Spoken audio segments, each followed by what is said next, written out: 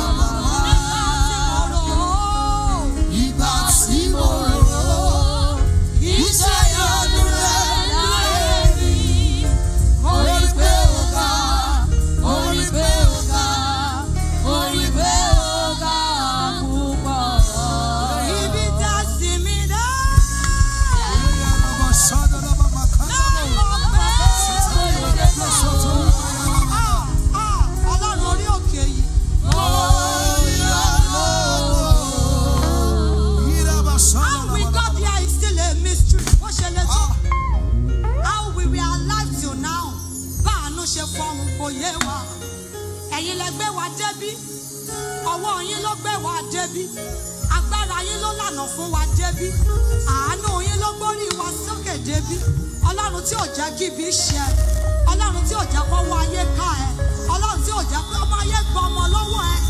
Ọlọ́run tó ń jàágùn fún mi níbi tí mi ò lè dé. A iná tí ayé dá ẹ̀jẹ̀ jésù ló pa.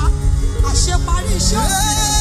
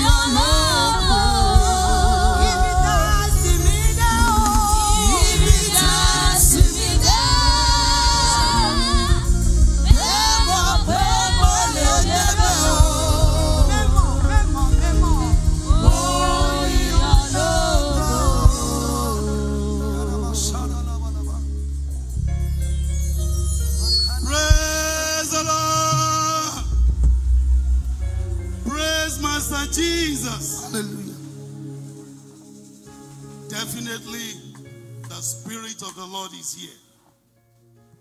And I will believe that the joy shall be permanent with us. When we hear the word Holy Ghost compound, we should know what is expected in this compound. At this point in time, so that the temple will continue to still linger on, let us move to the special covenant and thanksgiving, which is going to involve each and every one of us. The envelope we introduced to you earlier on, this is the time you are going